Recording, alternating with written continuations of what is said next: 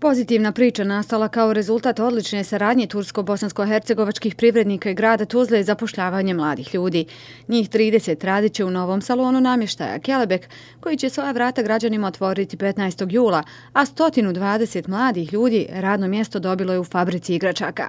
Radih mjesta bit će još, najavio je biznismen Abdurrahman Uvak, predsjednik udruženja tursko-bosansko-hercegovačkih privrednika. Biz bunu 2013 sonunda aldık. İşte 10 bin metrekare üzerine 4500 metrekare kapalı alan.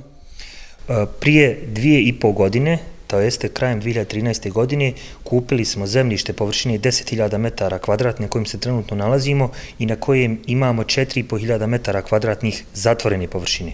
Trenutno se nalazimo u jednom od tri objekta koji je upravo spreman da se pusti u funkciju i u kojem će se nalaziti e, salon namještaja koji dolazi iz Republike Turske i koji se zove Kelebek. Pored ove zgrade u kojoj se nalazimo, iza nas imamo i dva dodatna objekta. U jednom od ta dva objekta biti će proizvodnja e, igračaka, a u drugom će biti u budućnosti proizvodnja tekstila. Trenutno u drugom objektu gdje se proizvode igračke je uposleno 120 ljudi. 15. jula znači ovog tekućeg mjeseca imamo i svečano otvaranje e, namještaja Kelebek ovde. Ovde ćemo zaposliti 30 radnika, prema našem trenutnom planu u sva tri objekta e, do kraja ove godine očekujemo da će biti uposlano 200 radnika. Do, e, prema našim trenutnim planovima do sredine 2017. godine ta brojka sa 200 treba da se popne na 300 radnika, a u narodnom periodu plan je da u kompletnom kompleksu bude uposlano 400 radnika. E, naravno, kao što svi znate, e, nije lako e, doći do ovih cifara i do, do finalizacije ovakvih investicija, međutim, uz podršku lokalne vlasti i gradonačelnika kao i vlade, mi uspjevamo u tome. Naš osnovni cilj, primarni cilj je naravno da nastavimo sa našim aktivnostima na mjestu na kojim se nalazimo, a pored toga i putema putem naših aktivnosti udruženja e, Tursko-Bosanskih privrednika, naša osnovna želja i misija je da povežemo znači, privrednike Republike Turske sa privrednicima Bosne i Hercegovine i da u Tuzlu i u Tuzlansku regiju dovedemo što više turskih investitora, jer svi znamo da je Tuzlanska regija regija koja je samo na 60 km udaljena od Evropske unije, ima jedan veliki industrijski industrijski potencijal. Mi od, u budućnosti, naš plan je da se e, naučimo prodavati robu u Tursku, ne samo da uvozimo robu iz Turske.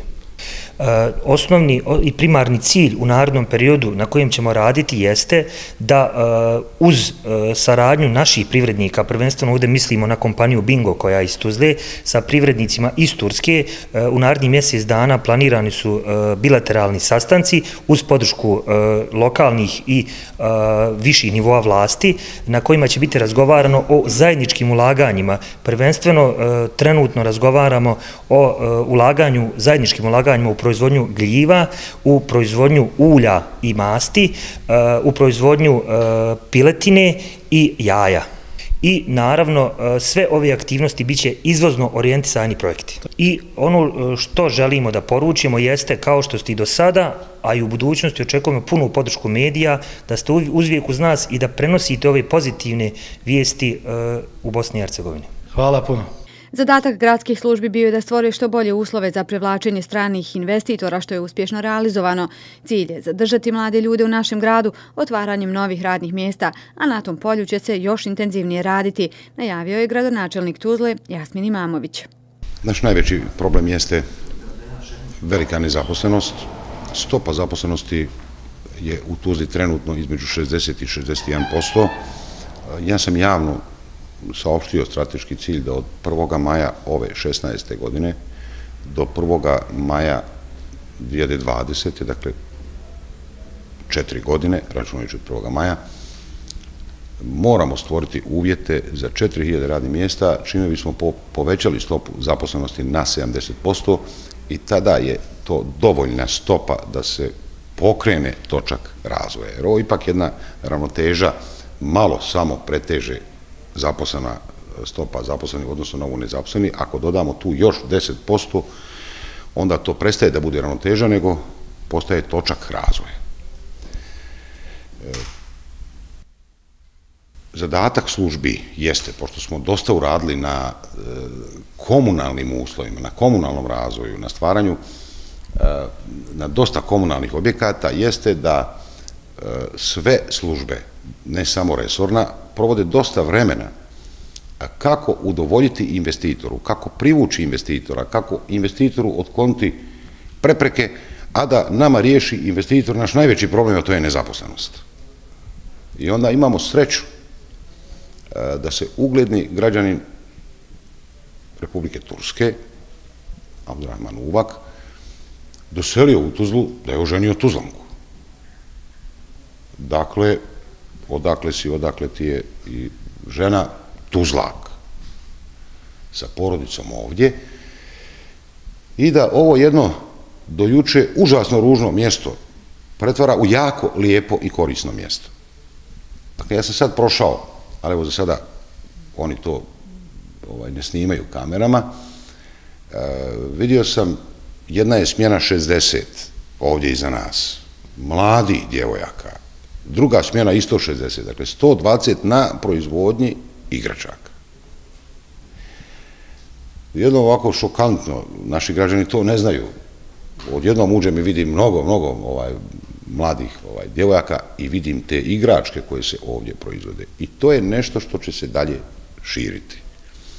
Isto tako, tekstilna fabrika koju već ima u Srebreniku gospodin eh, Andura Abdurrahman eh, će doći ovdje. Isto tako salon namještaja, a u perspektivi proizvodnja kuhinja.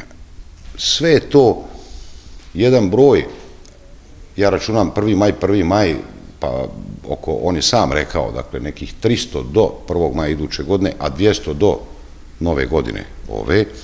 Tako da je to jedna dobra vijest, e, jer ja bih želio da od, do 1. maja iduće godine mi smo stvorili uvjete za nekih 1300 do 1000 i po radnih mjesta. Zašto sam ja ovdje danas? Pa ja sam izvednica mom timu da obiđem objekat, da pitam investitora kakve su mu prepreke, da onda obnovim ovu posjetu sa timom mojih saradnika u cilju našeg zajedničkog otklanjanja tih prepreka. Dakle, ovakvi investitori ne smiju čekati niti jedan sekund. Gradonačelnik je prilikom posjete predsjedniku Udruženja Tursko-Bosansko-Hercegovačkih privrednika u ime građana Tuzle izrazio i žaljenje povodom nedavnog terorističkog napada koji se desio na aerodromu u Istanbulu. Poručuje da je Turska jedna od najjačih zemalja i da će sigurno uspješno savladati one koji se bave najgorim zanatom na svijetu, terorizmom.